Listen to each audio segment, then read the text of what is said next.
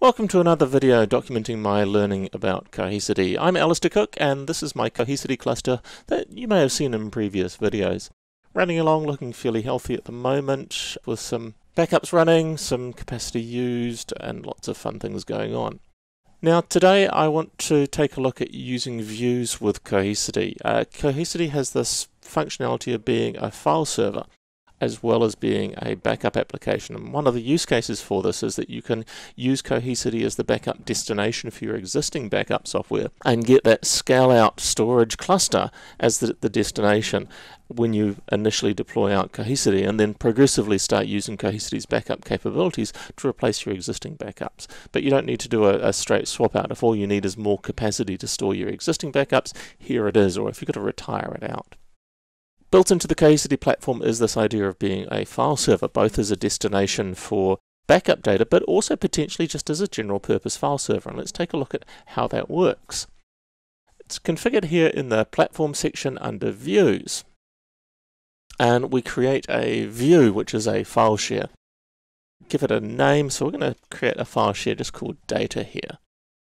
Uh, it lives in the default storage domain with dedupe and compression turned on. I only have the one storage domain, and my understanding is that's the best practice for Cohesity as well. Quality of service uh, policy. So, how much of the uh, solid state capacity should I be using with this? Therefore, what sort of performance should I expect? And I think I want this to be a dev test high performance. I haven't spent any time looking at these QoS policies. Maybe I should. But that sounds like one that's going to give me reasonably high performance. Right, then we've got a protocol for this view. Is it going to be NFS only? The NFS view is what's used for the instant mass restore. So well, the instant restore to vSphere is that a NFS data store is created off the Cohesity cluster for this restore. So that's one of the functionalities that was important in Cohesity. Can choose to make it a Windows file share only, so SMB, or have it as an S3 compatible bucket only. Something else to note that when we have ingestion through NFS and SMB, the S3 is view only. So we can't make changes from the S3 interface, but this is not an unusual way of using a multi-protocol platform that has NFS for ingestion and S3 for the consumption side possibly not something you'd do with Cohesity, but it's certainly something I've seen on very large scale NFS and SMB solutions. Got a case sensitive view. Let's let's stick with case, case sensitivity and then come down and have a look at the advanced settings down here. So the security is something that I always want to take a look at and the SMB permissions are turned on which is good and we have an owner which is the local administrators group and then we have the everyone group has got full control and I'm never very happy with an everyone group having full control so I'm going to remove that one and add a principal in here. Now this authentication comes from my domain. This cluster is joined to my Active Directory domain. That allows me to use domain groups. And if you wanted to check how that works, take a look at my blog post. So I'm going to add domain admins to be full control, and then I'm going to also add domain users and allow them read write. So this is going to be a general purpose file share. Security is going to be, you know, this is primarily going to be accessed by Windows users, so I'm going to use NTFS as the, the file system type, and NFS is going to be controlled through that.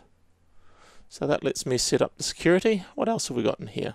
Dedupe and compression, we'll leave that. Uh, let's have some logical quota on here. So let's set a maximum storage consumption for this share, this view, of 100 gigabytes. I think that's a reasonable amount. I had, I think, 200 or so gigabytes of free space on this storage domain. Browsable is okay. Encryption is off. Yeah, that's okay. Antivirus I don't have installed, so that has to be off at this point. So we'll create that view. And now we have the default share called data. So I can copy that path. I can grab myself a new Windows Explorer window and paste it in here. And it pops up with authentication. Now, even if I put my valid credentials in here, right, even if I put valid credentials in there, it's failed. This is not, in fact, a check for credentials that's failing, it's a networking check. So if we go back to views, there's this thing called SMB authentication and global whitelists. And this allows me to choose to allow a particular subnet access to this share. So if I put my entire lab subnet in here, read write is allowed. That no root squash is really important if I'm going to allow access through NFS. So if vSphere is going to access this share, it's important. This is a, a subnet that contains my ESX server, so I will allow that. And this is the dlab subnet. So if I now allow that, if I pop back down here to this Explorer window and again paste in that URL, now I can get access to that data share. And if I pop back and browse, I can see the data is accessible as if it was a normal file share in here. So if I create myself a folder in here, L data folder, I'm currently logged on as a domain administrator and consequently if I come in here I should be able to change the security settings in here. So if I edit in here and add, let's see if I've got an Alistair account in here. Yeah, I've got an Alistair account. We'll add Alistair in here and give Alistair explicitly modify rights, just like we would on any other NTFS file system. So it looks like it, it behaves really nicely as a, an NTFS file system. And we can get some access into that folder and, and maybe I've got my other window here with a whole bunch of data in it. Let's just grab the whole Cohesity folder and copy it in and chuck in there a few oh look at this can't bring all of my properties across so I can't bring all of the uh, NTFS file system properties that I'm bringing from this file share across bring everything with without properties and let's bring 3 gigs worth of data across That'll take a few minutes to copy across. Let's take a look back at our view and see what we can see. We have our data view in here. It will slowly be filling up. We can see shares in here. The other thing that we can do in here is we can protect the view. Right, so now, because I've got a file share that's containing unique original data, I need to do some data protection for that. So I can come in here and choose a protection policy to apply to the data that's in this view. So this is a data view protection is the name of my protection job. protecting the, the file share, the view called data with the silver protection policy. So if we hit OK on that one, now we've got a protected icon up here, the little shield shows up. It seems to be propping along. Uh, it's going to take a little while to populate out. Once again, it's that issue of copying from and to the same storage locations in the lab.